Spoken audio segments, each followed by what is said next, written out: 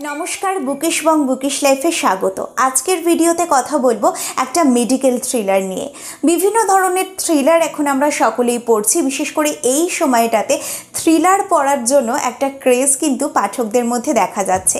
কিন্তু তা সত্ত্বেও বিভিন্ন ধরনের থ্রিলারের মধ্যেও মেডিকেল থ্রিলার এই টার্মটা বোধহয় আমাদের সকলকেই কম বেশি অ্যাট্রাক্ট করে থাকে।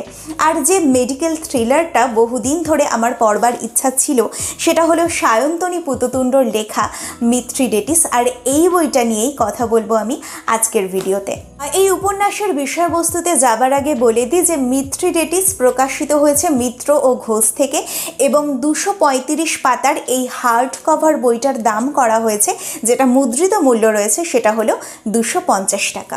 উপন্যাসটার বিষয়বস্তুতে যাবার আগে আমি মিথ্রিডেটিস এই শব্দটার অর্থটা আপনাকে জানিয়ে দিই। হয়তো অনেকেই জানেন, আবার কারোর কারোর হয়তো এখনও জানা নেই। যেমন আমার নিজেরই এই উপন্যাসটা পড়বার আগে এই শব্দটার মানে কিন্তু জানা ছিল না। ষষ্ঠ মিথ্রিডেটিস নামে একজন রাজা ছিলেন প্রাচীন রোমান সাম্রাজ্যে। এই ষষ্ঠ মিথ্রিডেটিসের পিতাকে কেউ একজন রাজপরিবারের ভিতরেই বিষ প্রয়োগ করে হত্যা করেছিলেন এবং তাই জন্য মিথ্রিডেটিস সবসময় বিষের ভয়ে আতঙ্কিত হয়ে থাকতেন এবং তার জীবনের শেষ দিন পর্যন্ত তিনি বিষের ভয়ে আতঙ্কিত হয়েই কাটিয়েছিলেন। তবে তিনি বিষের হাত থেকে বাঁচার জন্য কিন্তু একটা অভিনব পন্থা আবিষ্কার করে ফেলেছিলেন। তিনি নিজেই তার শরীরে খুব অল্প অল্প পরিমাণে বিষ প্রয়োগ করতে শুরু করেছিলেন বহু দিন ধরে। এইভাবে বহু বছর তিনি সহনীয় মাত্রায় অল্প অল্প করে বিষ নিজের শরীরে প্রবেশ করাতে থাকেন। আর এইভাবে ধীরে ধীরে দেখা যায় যে তার শরীরে একটা বিষের বিরোধী অ্যান্টিবডি তৈরি হয়ে গেছে বা তার শরীরে একটা বিষ প্রতিরোধকারী ইমিউন সিস্টেম গড়ে উঠেছে। যার ফলে যে কোনো মাত্রার প্রাণঘাতী বিষ যদি মিথ্রিটেটিসের শরীরে প্রবেশ করেও সেটা কিন্তু কোনোভাবেই তার কোনো ক্ষতি করতে পারত না। তবে মিথ্রিডেটিস একাই নন, পৃথিবীর ইতিহাসে বারে বারে এরকম মানুষেরা এসেছেন যারা নিজেদের শরীরে অল্প অল্প করে বিষ প্রয়োগের দ্বারা নিজেদের শরীরে একটা বিষ বিরোধী ইমিউন সিস্টেম গড়ে তুলতে পেরেছিলেন এবং কোনো পরিমাণ বিষ প্রয়োগ করেই যাদেরকে কোনোভাবেই হত্যা করা সম্ভব ছিল না। এবং ষষ্ঠ মিথ্রিডেটিসের নাম অনুসারে পরবর্তীকালে যে সমস্ত মানুষেরা এই একই পদ্ধতিতে বিষ বিরোধী ইমিউন সিস্টেমের অধিকারী হয়েছিলেন, তাদেরকে মিথ্রিডেটিস নামে ডাকা হতো। এবারে যদি আমি এই উপন্যাসটার বিষয়বস্তুতে আসি, তাহলে প্রথমেই যেটা বলতে হয় যে এই উপন্যাসের বিষয়বস্তু কিন্তু পুরোপুরিভাবে কল্পিত কাহিনী নয়।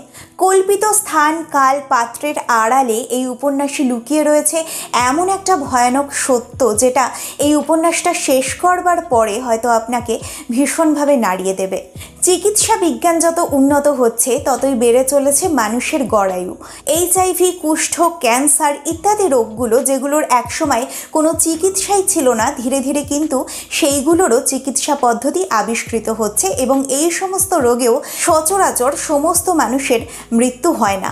আর এই ধরনের রোগগুলোর যে প্রতিরোধ বা যে টিকাগুলো আবিষ্কৃত হচ্ছে, সেগুলো বেশিরভাগই কিন্তু আবিষ্কৃত হচ্ছে প্রথম বিশ্বের উন্নত দেশগুলোতে। কিন্তু প্রথম বিশ্বের এই সাফল্যের পিছনে কিন্তু রয়েছে তৃতীয় বিশ্বের আত্মবলিদান। যে আত্মবলিদানের আসল নামটি হলো মেডিকেল ট্রায়াল। তৃতীয় বিশ্বের দেশগুলোতে বিভিন্ন জিনিসের দাম উত্তরোত্তর বেড়েই চলেছে। কিন্তু সব কিছুর আড়ালে যে জিনিসটার দাম দিনের পর দিন কমে যাচ্ছে, সেটা হলো হতদরিদ্র মানুষগুলির জীবনের দাম। শহরের পথে পথে কিংবা রেল স্টেশনে ভিক্ষাবৃত্তিতে জড়িয়ে থাকেন যে সমস্ত দরিদ্র মানুষেরা, যাদের জীবনের, যাদের বেঁচে থাকা, মরে যাওয়ার খবর নেওয়ার জন্য বা খোঁজ নেওয়ার জন্য কেউই থাকেন না, তারাই কিন্তু শিকার হচ্ছেন এই মেডিকেল ট্রায়ালের। যেখানে মেডিকেল ট্রায়ালের নাম করে এক নিষ্ঠুর পদ্ধতির মাধ্যমে গিনিপিগের মতো ব্যবহার করা হচ্ছে এই সমস্ত মানুষদের। এই উপন্যাসটার পটভূমি শহর কলকাতার বুকে গড়ে ওঠা একটা নার্সিং হোম যেখানে বেআইনিভাবে খুব গোপনে চলছে একটি মেডিকেল ট্রায়াল যে মেডিকেল ট্রায়াল একের পর এক বহু মানুষের প্রাণ কেড়ে নিচ্ছে, কিন্তু তা সত্ত্বেও প্রথম বিশ্বের হিতার্থে তৃতীয় বিশ্ব তার আত্মবলিদান দিয়ে চলেছে। এছাড়াও এই উপন্যাসে রয়েছে একটা অদ্ভুত প্রেম। রয়েছে এমন কিছু মানুষ যাদের প্রথম দিকে আপনার ভিলেন বলে মনে হলেও যত গল্প এগোতে থাকবে ততই তাদের সম্পর্কে আপনার ধারণা পাল্টে যেতে থাকবে। এছাড়াও এই উপন্যাসে রয়েছে অবশ্যই একজন মিত্রিরেটিস উপন্যাসটা নিয়ে আমার ভালো লাগা বা খারাপ লাগার কথা যদি আমি বলি, তাহলে প্রথমেই যেটা বলতে হয় যে এই উপন্যাসটার বিষয়বস্তু আমার কাছে ছিল একেবারেই অভিনব। মেডিকেল ট্রায়াল আসলে কীরকম হয়, তার পিছনে কত ঘৃণ্য, নৃশংস পদ্ধতি লুকিয়ে থাকে, সেটা সম্পর্কে আমার সত্যিই কোনো ধারণা ছিল না এই উপন্যাসটা পড়বার আগে। আগেও যেটা বললাম যে মেডিকেল থ্রিলার হলেও এই উপন্যাসটায় কিন্তু প্রেম রয়েছে এবং এটাকে একটা চূড়ান্ত প্রেমের উপন্যাসও বলা যায়, কিন্তু কোথাও সেই প্রেমটাকে কিন্তু অপ্রাসঙ্গিক বা আরোপিত বলে আপনার একবারও মনে হবে না। আর সায়ন্তনী পুততুণ্ডর অধিরাজ সিরিজ যাদের পছন্দ, যারা পড়ে ফেলেছেন অধিরাজের গল্প এবং উপন্যাসগুলো, তাদেরকে বলব যদি মিথ্রিডেটিস পড়া না থাকে, তাহলে অবশ্যই পড়ে ফেলুন। সাসপেন্স থ্রিলার বা সাইকোলজিক্যাল থ্রিলারের পাশাপাশি লেখিকা, মেডিকেল থ্রিলার লেখাতেও যে কতখানি সিদ্ধহস্ত, সেটা আপনারা বুঝতে পারবেন এই উপন্যাসটা পড়লে। খারাপ লাগা সেভাবে কিছু নেই এই উপন্যাসটা সম্পর্কে। তবে একটা কথা বলব যে অধিরাজ সিরিজের উপন্যাসগুলো যেরকম গতিশীল বা গল্পগুলো যেরকম ঝরঝর করে এগিয়ে চলে, এই উপন্যাসটা কিন্তু অতখানি গতিশীল নয়।